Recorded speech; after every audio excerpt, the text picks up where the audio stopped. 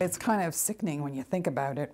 When Elizabeth Belding Rowe and her husband Galen Rowe made arrangements to donate their bodies to science a few years ago, they could never have imagined how it would end. You have the love of your life, you know, somebody that you've, you know, you've given your life to, and, and they're, they're, the, the, they're your best friend, you know, and they're the most important person to you, and they're being treated like this. Her husband passed away from a heart attack in February, and staff at the Fredericton Hospital told his family the donation to Dalhousie University's medical school was made. Instead, the body was forgotten, left in the hospital's morgue.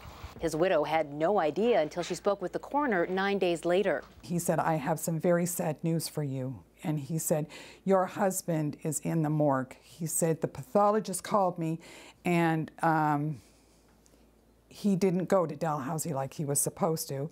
Out of the more than 1,000 Canadians who donate their bodies to universities every year, most go as planned.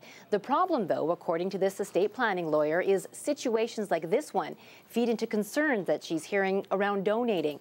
It's hard for people to navigate their way through those systems anyway, but when it's something that's really emotionally laden, like this kind of thing, it adds a kind of urgency, a kind of stress you know, the people just don't want to deal with that. It wasn't until Go Public asked the hospital what happened that it became clear why the body was left in the morgue.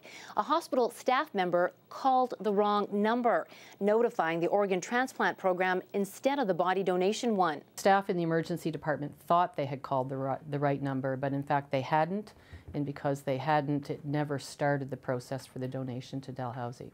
That explanation offers no comfort for Rowe's widow, who says other hospital staff members clearly knew her husband's wishes. The health authority tells us it plans to update its reference material for staff to clarify who to call and when. Rosa Marchitelli, CBC News, Calgary.